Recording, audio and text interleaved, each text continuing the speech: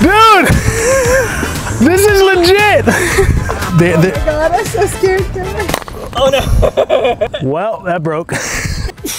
I'm gonna be using this 3D printer to make a fully rideable bike. Again, let me explain. A few months ago, I tried 3D printing my dream bike. There were highs and some real bad lows, but I said if this video gets 20,000 likes or more, I'm gonna try V2. I'm a man of my word. So this time I'm trying to get with one goal. The bike must be rideable. For V2, I could have just tweaked what I did last time now that I have more experience and a much better printer, but where would the challenge be in that? First, instead of using Onshape to model the bike, so many of you commented that I should try the free version of Fusion that I had to try it. Then I've got my dream road bike already. Yeah! But you know what bike I don't have or have never ridden? A time trial bike. I think an Ironman would be cool to do someday, and after watching Rick Zabel unbox his Canyon Speedmax, I knew I needed one. First, I needed to learn the basics of Fusion, so I found some great tutorials by Product Design Online and spent the next six hours following along with his videos and with the basics down, I wanted to see if there was a tutorial that could help me get started with modeling the bike and found someone who teaches a class on Fusion 360 showing you how to sculpt a bike frame. Yes! I opened Fusion, brought in a picture of the bike and got to playing with the Play-Doh. I pulled and stretched and tweaked and after about 10 hours of modeling, I had this beauty. Honestly, I was so impressed with myself with how good it looked and how much it looks like the actual bike, but there were all these issues of finalizing it, so I reached out to some friends and Leo helped resolve the main issues, but then Rich, Mitch, and Morley all gave me the same advice. If you're going from zero, if I were you, I might try to do my own design. So I ignored them and kept working on trying to get the handlebar figured out. But eventually I stopped and realized I don't want this to be a repeat of last time. And although I'm gonna be losing over 15 hours of work if I stop now, that has to be better than losing over 100 hours of work and wasting a ton of filament if the bike doesn't end up working. So I scrapped it. Well, back to square one. This time though, at square one, we're gonna design a bike for 3D printing. I don't really know what that means, but my here's what my mind goes to. I started by trying to figure out what the main forces will be that I had to contend with so the bike wouldn't do this. And after lots of thinking and failing and thinking again and failing again, I had this basic design. And since my wheels basically collapsed immediately last time, I went with one of Morley's ideas. What if the wheel could be printed in one piece? So I checked how big the H2D can print using both nozzles, put that in, made the rest of the design, and boom! I kind of like this. This is the first rough sketch, and I, I think it's doable. Now to actually start modeling, I made the wheel mimicking Alexander Chappell's design and started on the frame, figured out half the fork, cut the top tube, mirrored the forks, made the handlebar with these little supports, tried making a way to hold the seat but failed. So I tackled the grips, then the axles mimicking Matt Denson's design, cranks, spacers, and wanted to get an idea of how long the tire would take to print that. Oh my god. Instead of just sending it, I made a little version to see if it would be strong. Whoa, this thing actually looks so legit. Holy crap, that's strong. Whoa. Okay, I think test passed. I also wanted to test the fit of the wheels, axles, and cranks, so I made some mini versions out of PLA and the axle failed. Is this supposed to happen? So I asked my friend Brendan if he thought a triangle would be better, and instead he came back with a genius idea. He suggested actually doing a circle that you cut the top and the bottom off of. Genius, man.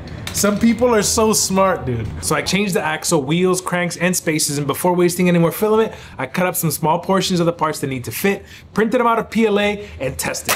The wheel assembly spun decently, and so did the handlebar, so I tried to learn how a pedal was made, don't know how I would print that, tried to modify one I found online, no luck, so pivoted to try and make the cranks accept the pedal, and that is perfect. Also, I finally figured out a way to secure the saddle on the bike, which was a big win. Then I started making all these little V's all around the frame that I was gonna use to cut it, but before I did, I called up Brendan again to see if he had any good ideas, and dovetails, genius. I sent the cranks and axles to print and got to work on putting dovetails throughout the entire bike. Then my friend Connor, an actual mechanical engineer, suggested making a change to this tube and making the dovetails rounded. So I went back, made the changes, and exported the full bike for the first time. It was a strange feeling, seeing so much work just laid out on nine little build plates. I took out the cranks and axles, gave them a max strength test, they passed. Then started on the first piece of the frame while my friend Jory knocked out one of the forks on his X1C. While those were going, I printed a test piece of the part that would hold the saddle and found it didn't fit and wasn't angled properly. So I fixed that, started printing the next part of the frame, but I've got a problem. No.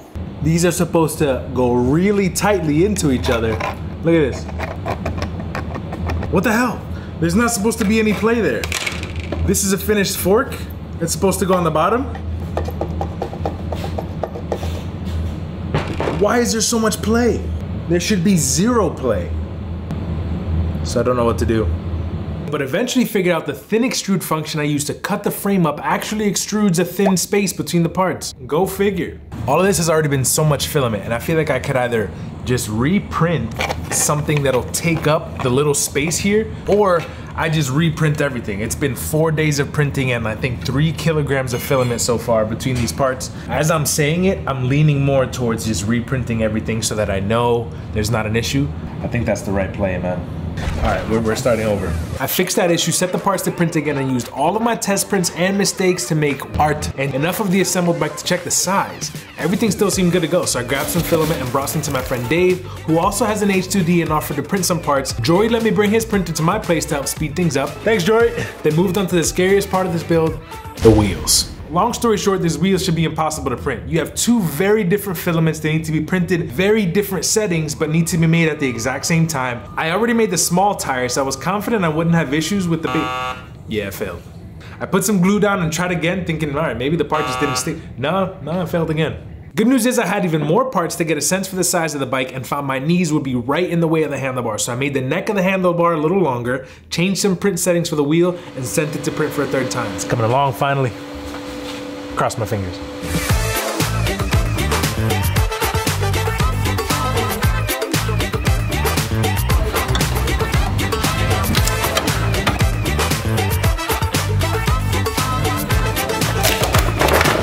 But then I noticed something weird on the wheel print. I thought I saw a little wobble while I was passing by and look, the whole bed is lifted up.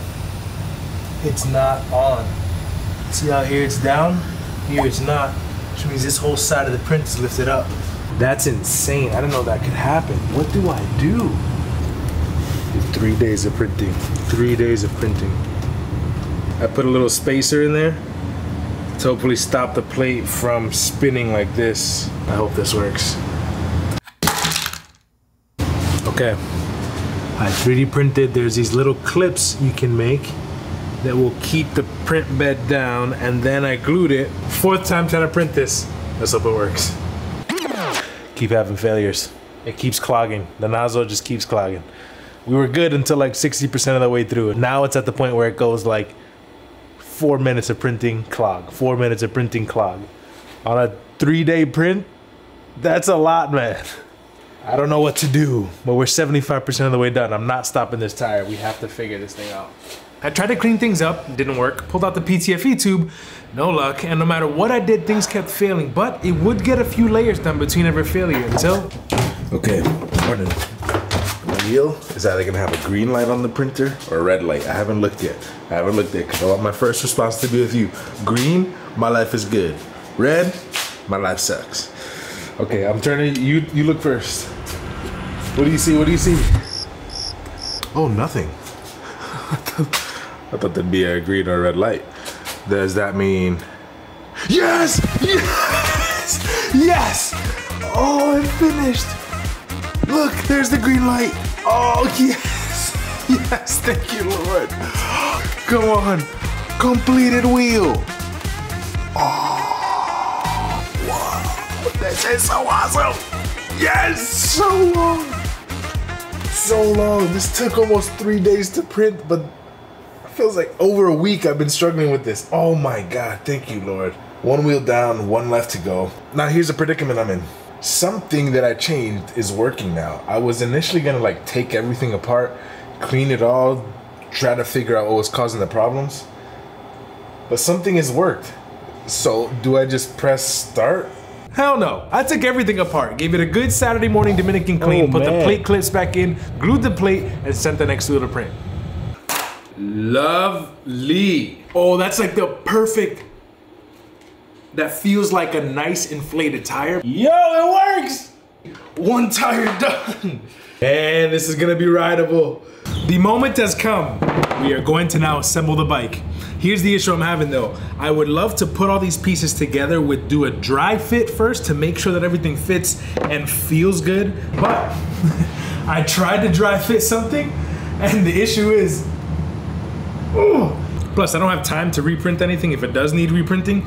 So at this point, we're just gonna send it. Let's put this bike together. Hello, I'm the freshest in the place when I lax with my vibe. Ah, Can't that happened quick. Head to toe while I'm dripping in style. Die with a million dollar smile. Cannot be could you see me? If you look fresh, everybody wanna greet me. Yo, are you kidding me? There's the bike! Babe, come look at my bike. Oh.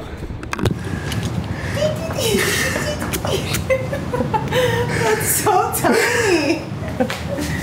Kevin, this is smaller than what I need. How are you gonna fit on this? I want it to be for like all people. I want everybody to be able to ride because the wheels aren't on. Imagine the wheel is gonna add another good chunk. It's not that. It's that even my legs are gonna hit the handlebars. yeah, I don't. Uh, I don't have a good solution for that yet, but It's cute. It looks like a children's bike. in in a sexy way though, right?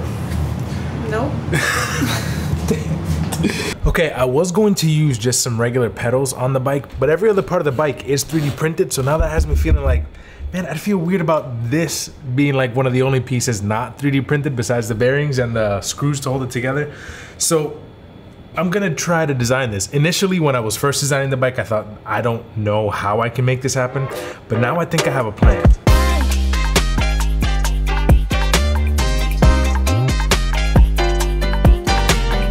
Yeah! Pedals off the printer. New axle. Let's see how well this works. Okay, there we go. No way!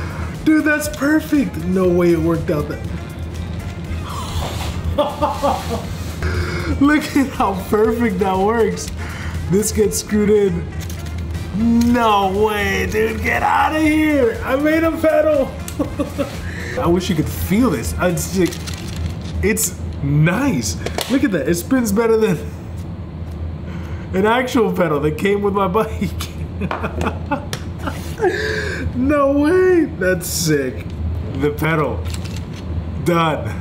Once the test pedals work, I finished printing them with the fancy filament, got the cranks and spindles tapped at my local bike shop, and the second wheel failed. I was hoping we'd found the secret sauce.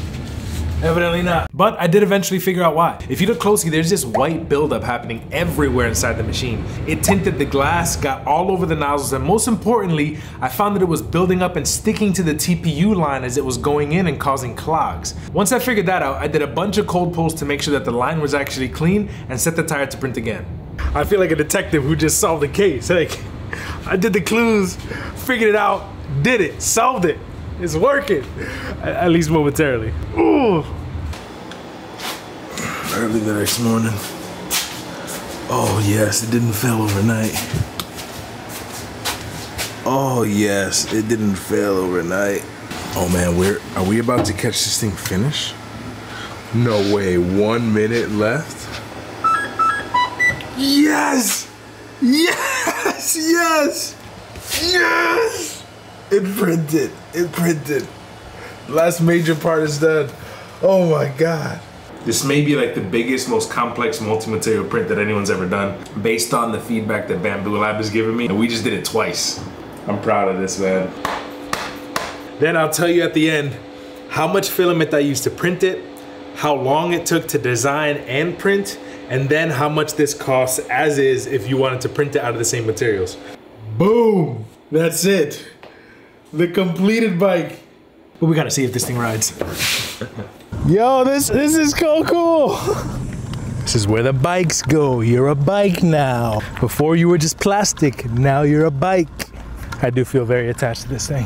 It actually feels pretty good rolling. I wanna see if it supports my weight. The last bike completely collapsed as soon as I put any weight on it. No cracking. Will it scoop? Oh! Dude! This is legit! The- the- I'm so scared. Well, that broke. Yeah, I should have seen that one coming. Reprinted the cranks, had the cranks tapped, went to actual metal pedals, and went out again for another try. wait, wait, wait. Do I need to? Ah! That feels so funny to ride. Okay, come on. Hey! We got a bike! Yo, this actually works. Then a few people who've helped with either of the two builds actually got to come and ride the bike. Woo! Babe. Nice. it works. It's really working.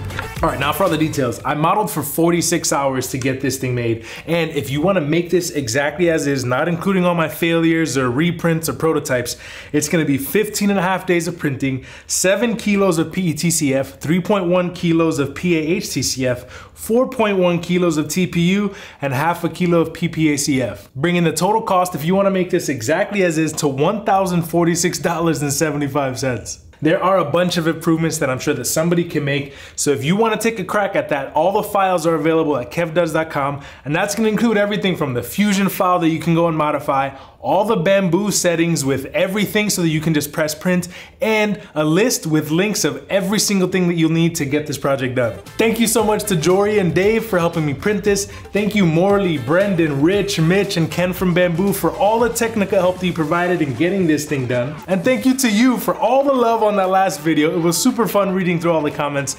If this video gets 50,000 likes or more, I'll electrify this. Nah, nah I'm just kidding. no. It's a sturdy little gal. What should we name her? Oh, like, like Striga.